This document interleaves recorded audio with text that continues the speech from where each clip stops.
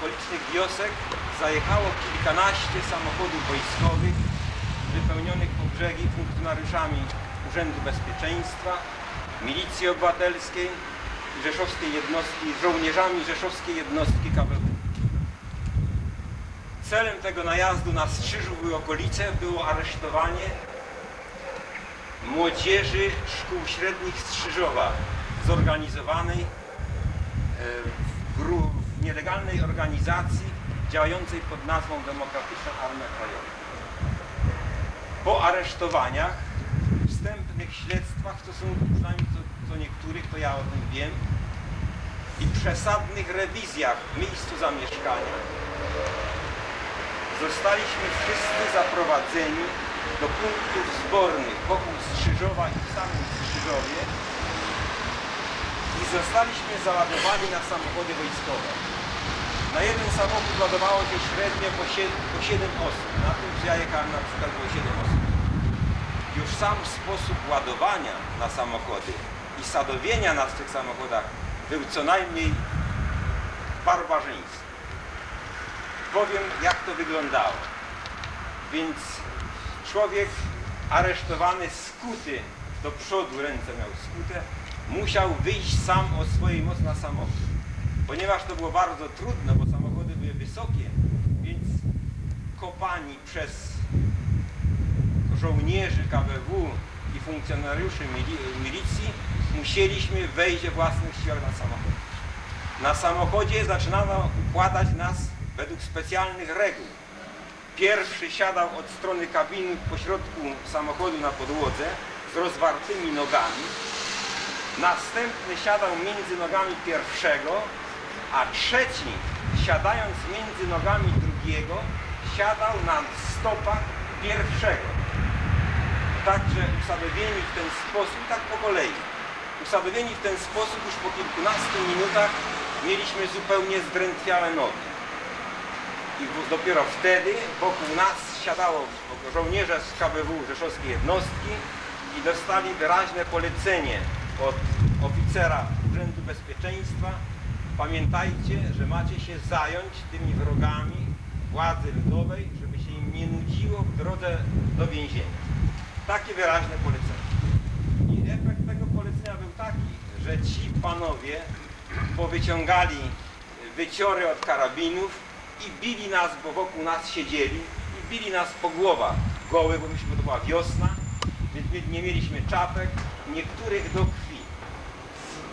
Takiej asyście dojechaliśmy tutaj na ulicę Marklewskiego, obok tam za tą bramą.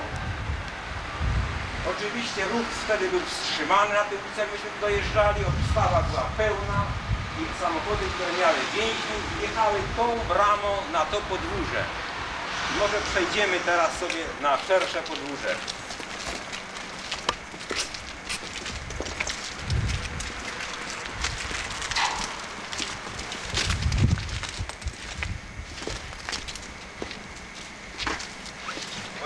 Tu nie było tak pięknie jak jest teraz. Tu było tylko kamienie wysypane i ziemia. Nie było tutaj przybrukowane, nie było tu jodełek, nie było fontanny. Było tak to zwykle w latach 50. I tu zajechały nasze samochody z z uwięzionymi. Po zamknięciu bramy otrzymaliśmy rozkaz, żebyśmy wysiadali z samochodu. Oczywiście ci panowie, którzy wydawali ten rozkaz, wiedzieli, że nasze nogi są zupełnie niewładne. Więc polecili żołnierzom, żeby nam pomogli wysiąść. Pomoc ta polegała na tym, że wyrzucali nas, spychali nas przez otwartą portę tu na to podwórze. Po kilku minutach padł następny gromki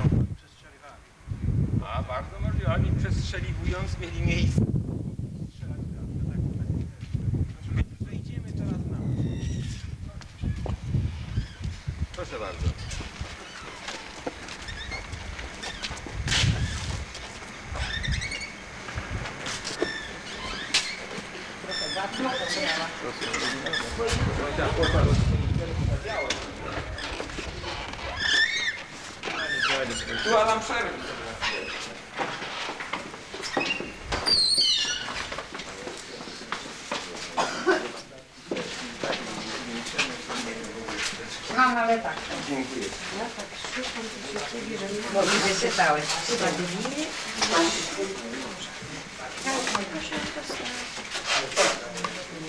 Spadnie. Teraz muszę zaglądać do tego scenariusza, żeby po kolei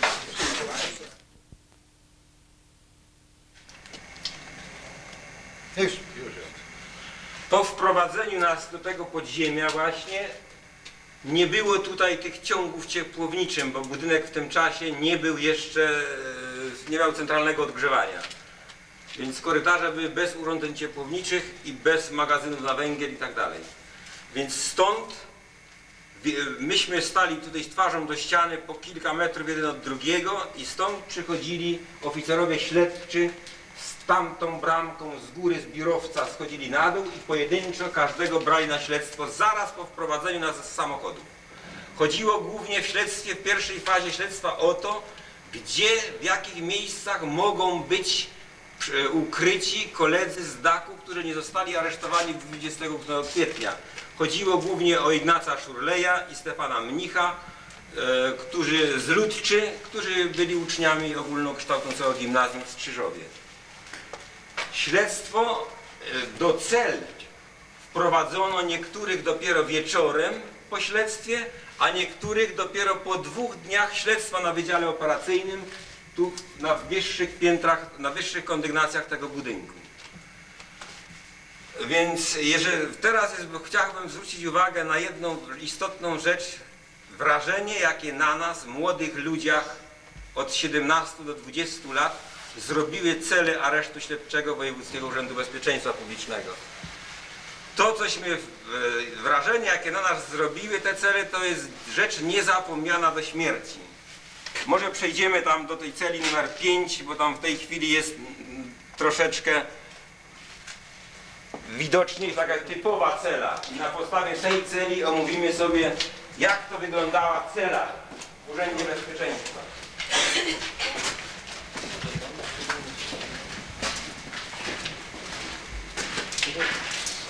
To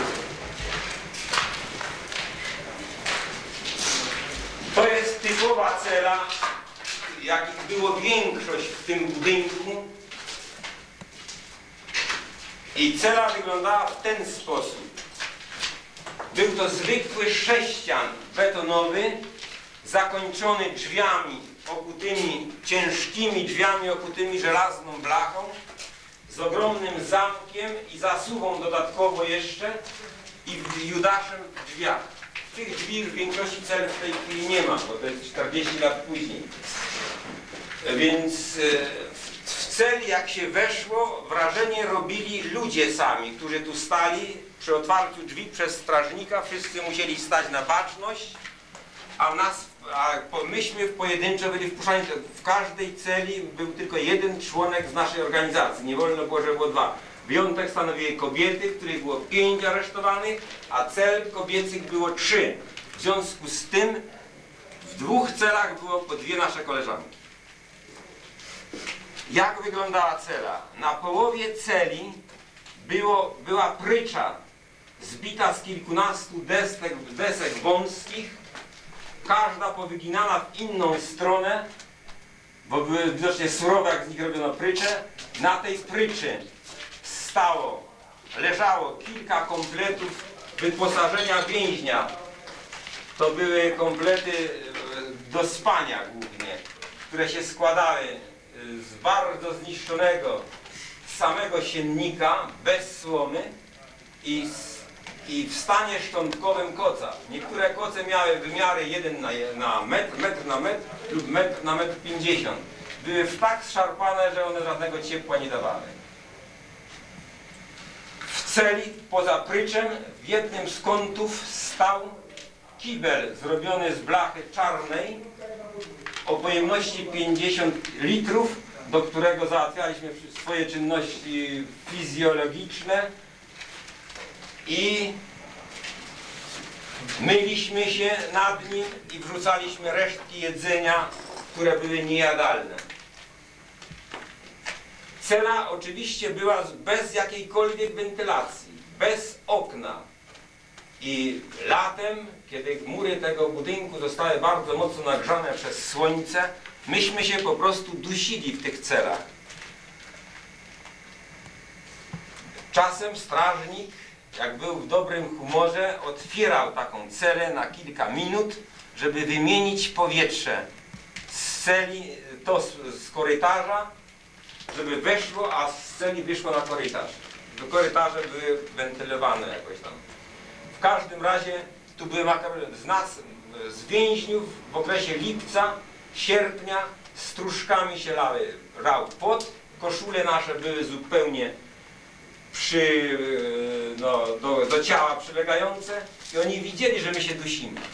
Więc wtedy otwierali. Radziliśmy sobie i sami, żeśmy otwierali. Mieliśmy, jak dawali nam miotłę na cele, tośmy włamywali kawałeczek, to były miotły brzozowe, kawałek patyczka, robiliśmy dwucentymetrowy patyczek, odginaliśmy dołem drzwi i wkładaliśmy patyczek dwucentymetrowy. I wtedy musieliśmy płaścik, trzech się kładło załóżmy na posadce, na betonie i przystawiało usta do, do tego otworu, który stworzyliśmy, a inni jak mogli przyłożyć usta tak i tak staliśmy jak ryby wyjęte z wody, łapaliśmy powietrze. Powietrze oczywiście nielegalne, bo tego nie wolno było robić. I proszę Państwa, musieliśmy wtedy bardzo uważać, być, musiała być idealna cisza, bośmy nasłuchiwali, gdzie znajduje się strażnik. Bo tośmy robili zwykle wtedy, jak on poszedł na drugi koniec korytarza, względnie słyszeliśmy, że brama żelazna się zamykała w kierunku na klatkę schodową do góry, więc wiedzieliśmy, że on wyszedł na kilka minut, więc wykorzystaliśmy te momenty. Co w celi jeszcze? W celi od strony korytarza w samym kącie była lampa hermetycznie zamknięta e, elektryczna z żarówką 15-watową, która się paliła na okrągło dzień-noc. Bo strażnik co chwila podglądał przez Judasza, co więźniowie porabiają. Więźniowie mogli tylko chodzić po celi, ewentualnie siedzieć na brzegu pryczy. Nie wolno było żadnej zginań czy jakichś pochylań, bo to było już niezgodne z regulaminem i można za to było dostać do karceru. Co jeszcze można powiedzieć o tych celach? No, w celi po śledztwie powinien człowiek odpocząć. Niestety w tych warunkach, jakie panowały tutaj na Urzędzie Bezpieczeństwa Publicznego, człowiek był nigdy nie mógł odpocząć, bo przez kilkanaście razy dziennie strażnik otwierał, podglądał co chwila cele i niezależnie od tego wołał na śledztwo poszczególnych więźniów i odprowadzał ich z powrotem do śledztwa. Wpuszczał do celi. I ciągle trzeba było stawać na baczność przy każdym otwieraniu drzwi. Co jeszcze myśmy moglibyśmy powiedzieć o tych celach?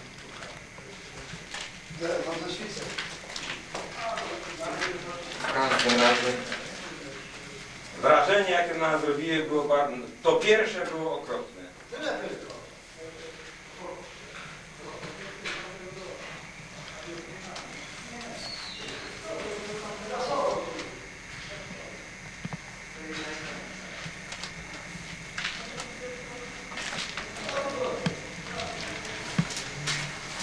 Na taką celę, można sobie wyobrazić warunki życia, jakie panowały tutaj w tej celi.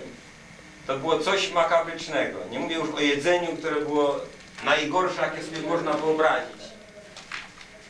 Ale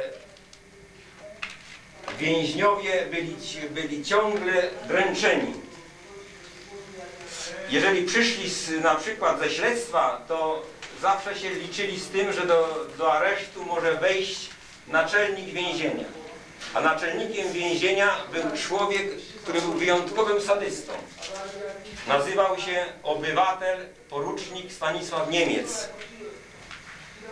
Ten człowiek, który był ciągle pijany od rana do wieczora, jeżeli już miał tyle e, profitów wypitych alkoholu, że w jego granatowo-sinych ustach pojawiały się kępki białej plany, to w piany, to wtedy schodził na dół tutaj do swojego królestwa, jakim był areszt śledczy i okazywał swoją nieograniczoną władzę, jaką miał.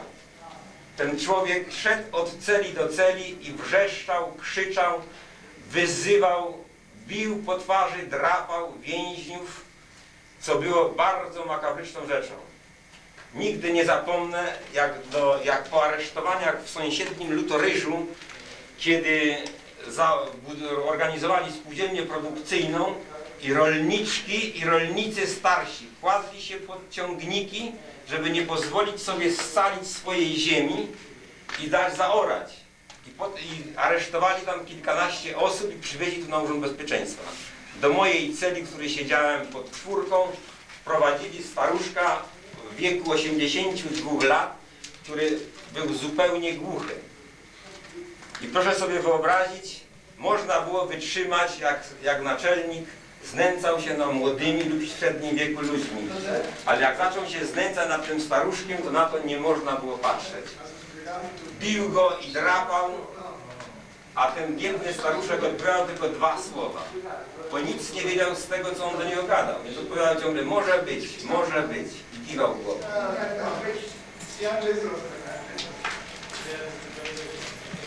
Co jeszcze można powiedzieć o tych sprawach? No, myślę, że po tym przejdziemy teraz do poszczególnych celi i obecni tu koledzy z dachu, każdy powie swoje osobiste wrażenia z poszczególnych celi. Zaczniemy może od celi numer jeden, w której siedziała nasza koleżanka Zosia Niewelecka. Prosimy bardzo.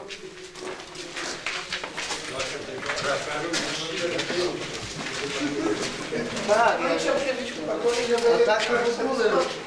Tak, że ja no nie może tak. No bo nie wysiedli wszystkie nie brać. Czyli żarówkę, żarówkę. Żarówkę tam a W tym pomieszczeniu była dyżurka strażnika aresztu śledczego w tym budynku. Tu stało biurko, za biurkiem siedział strażnik, miał swoje krzesło. Tu była, tu była szafka. Szafka, do której odnosiliśmy w pudełkach po każdym posiłku niezjedzone, niezjedzony chleb, lub, inne jakieś resztki jedzenia, które się nadawały do jedzenia w następnym posiłku. Oczywiście korzystaliśmy z tej szafki po to, ażeby nawiązać łączność i korespondencję między celami, między naszymi kolegami i koleżankami. Ja na przykład bardzo często korzystałem, podając w chlebie, listy na celę numer dwa. To jest ta właśnie cela. I, I w czasie, kiedy nie było strażnika, mówiłem bardzo syczącym głosem, przez, jak odkryliśmy że dwójka macie od nas chleb.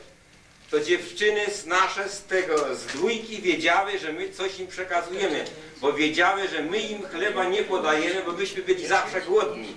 I raczej one nam podrzucały chleb, którego czasem nie mogły zjeść z uwagi na jego jakość to nam go właśnie podawali. To taki był kos, e, no, koks, no, przezywaliśmy go, to był chleb makabryczny, to trudno było zjeść na naprawdę. Ale myśmy byli ciągle głodni i zawsześmy prosimy o tą lampę i byśmy za, za, za, zaczęli od jedynki. Ta musi ostygnąć, bo inaczej to nie będzie. To Nie, ona musi ostygnąć. A drugą przynieść. Tamta się świeci też będzie koniec. No, spróbujmy tu dać. Do, do, Tam do, do, do celi trzeba, do celi. Czekaj, czekaj, czekaj, czy, zobaczymy czy świeci. Nie świeci. Zaraz, zaraz.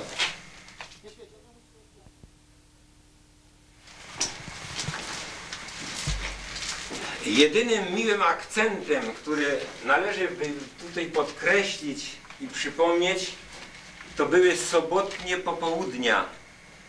To był czas, kiedy nasi oprawcy z, o, z Wydziału Operacyjnego w każdą sobotę kończyli pracę po całotygodniowej ciężkiej pracy, wychodzili, szykowali się na zabawy taneczne, które się regularnie w każdą sobotę odbywały. I właśnie e, wtedy, gdy w, sobo, gdy w sobotę było tutaj panowała w tych korytarzach względna cisza, kobiety z celi numer dwa a było tam nasze dwie koleżanki, dwie Zosie Środoniówna i Burówna, które pięknie śpiewały, zaczynały z tymi kobietami, które tam z nimi siedziały, śpiewać przepiękną pieśń. E, To była pieśń, modlitwa więzienna. Zaczynały najpierw cichutko, potem coraz głośniej, poszczególne cele podchwytywały tą melodię i po kilkunastu minutach, sekundach już cały korytarz śpiewał ten oddział, potężną pieśń, modlitwę więzienną. No, jest nas tu za małe grono, żebyśmy mogli ją odtworzyć żeby efekt był taki, jak był wtedy, więc tylko powiem słowa dwóch w zwrotach tej, tej pieśni, modlitwy więziennej. Zaczynała się O Boże, który jesteś w niebie, wyciągnij sprawiedliwą dłoń. My z więzień wołamy do Ciebie o litość i wolności krom. I refren, o Boże, skrusz te kraty, skrusz, o Boże, wróć nam wolność, wróć, niech twierdzą, będą święte sprawy, nasz kraj i rodzinny dom. I następna zwrotka, o Boże, usłysz prośby nasze, o usłysz nasz więzienny śpiew, z nad Wisły, sanu Bogu warty, męczeńska do Cię woła krew. I refren, o Boże, skrusz te kraty, skrusz.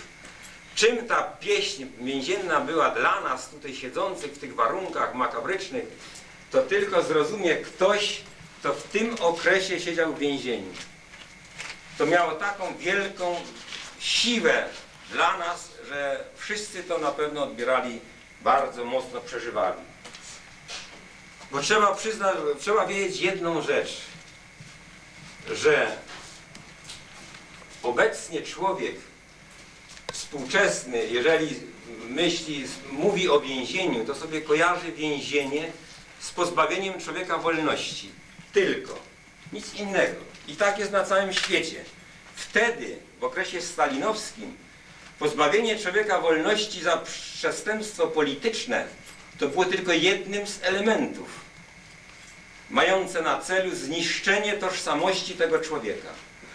Podstawowymi elementami to było stworzenie mu najgorszych warunków bytowych, jakie tylko można sobie wyobrazić, bo takie tu były w tym budynku. A następnie e, bardzo istotnym elementem było śledztwo, wielomiesięczne śledztwo, połączone z torturami fizycznymi i psychicznymi. I te trzy elementy dopiero razem wzięte miały sprawić, że człowiek ten już nigdy w przyszłości nie ośmieli się podnieść ręki przeciwko władzy ludowej. W cudzysłowie oczywiście, bo ile ta władza miała wspólnego z ludem, to wszyscy Polacy najlepiej wiedzą. Więc teraz byśmy sobie zaglądnęli do poszczególnych cel, żeby zobaczyć i uwiecznić w naszej taśmie filmowej, w jakich warunkach siedzieli tu ludzie. Zaczniemy może od celi numer jeden. To jest cela. Prosimy kamerę, żeby zaglądnęła do tej celi. Tam głębiej nawet. To jest cela o wymiarach 90 cm i w głąb miała kilka metrów, gdzie stało nie do końca prycza, a tu miały kobiety, a było ich dwie w tej celi. Tylko dwa metry kwadratowe albo półtora do, do ruchu, do chodzenia. Jakby Zosiu była uprzejma, to może powiesz dwa słowa o swojej celi.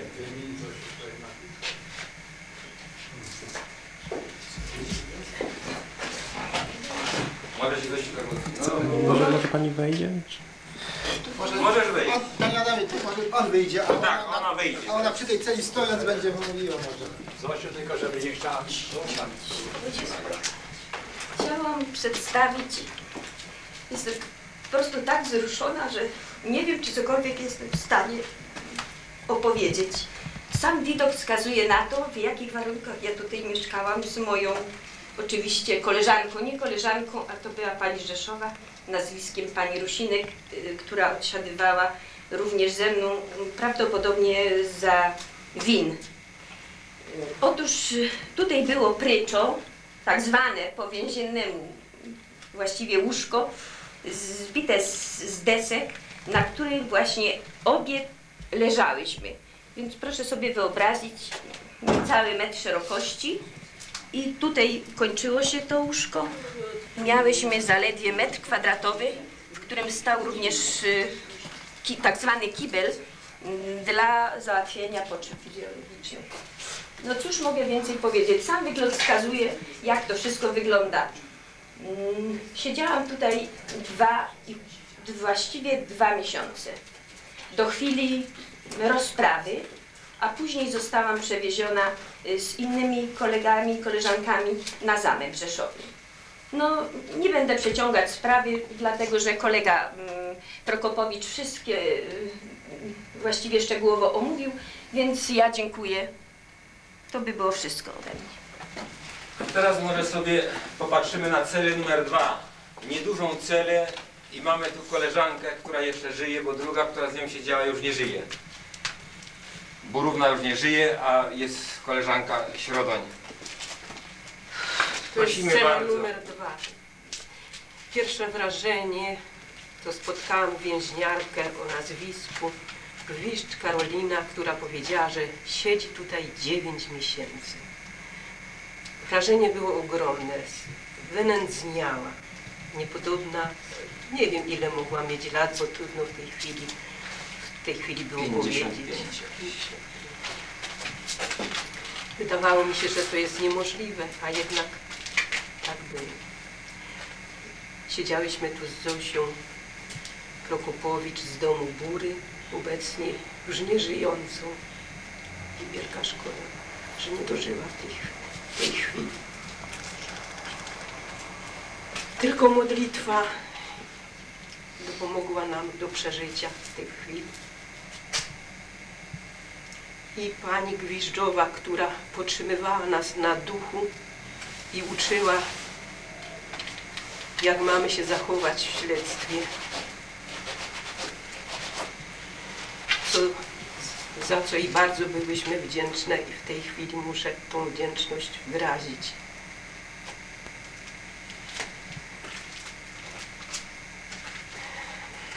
Więcej nie mogę mówić.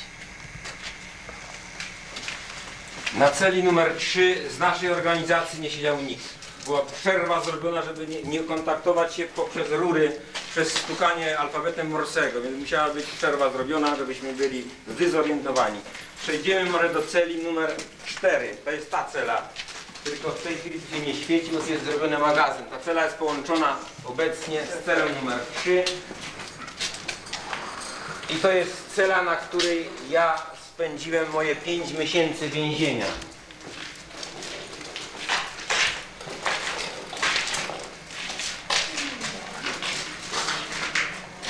Jeżeli chodzi o moje wspomnienia z tej celi, to mógłbym ich mnożyć